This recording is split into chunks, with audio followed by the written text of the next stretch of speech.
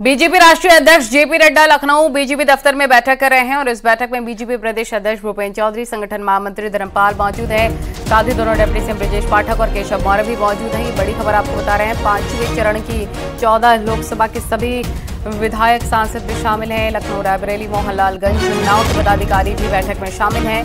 इनके बाद दूसरी, अगर लोकसभा और विधानसभा प्रभारी की बात की जाए और संयोजक और जिला अध्यक्ष प्रभारी भी मौजूद रहेंगे बैठक में। जेपी नड्डा, अवध, पूर्वांचल बुंदेलखंड की हर सीट जीतने की तैयारी कर रहे हैं।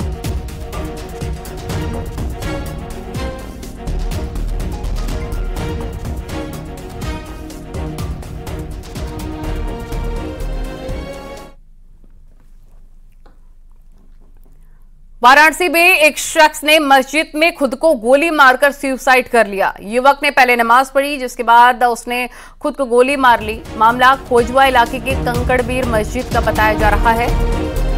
बता दें आपको कि मस्जिद में सुसाइड की सूचना पर पुलिस मौके पर पहुँची और मामले की जाँच कर रही है। पुलिस के मुताबिक सुसाइड करने वाले शख्स की पहचान हाजी बबलू के रूप में हुई है, जो वाराणसी के रामनगर का रहने वाला बताया जा रहा था।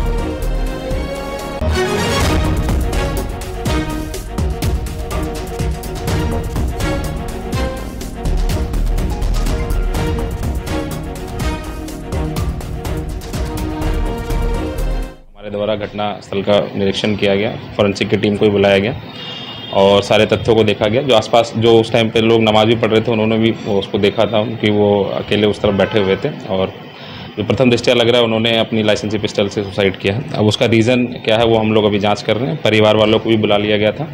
अगर कोई तहरीर देते हैं तो हम नियमानुसार उस पर कार्रवाई करेंगे। अभी हमने बॉडी को फॉरेंसिक के उपरांत उनको भेज दिया है बॉडी को।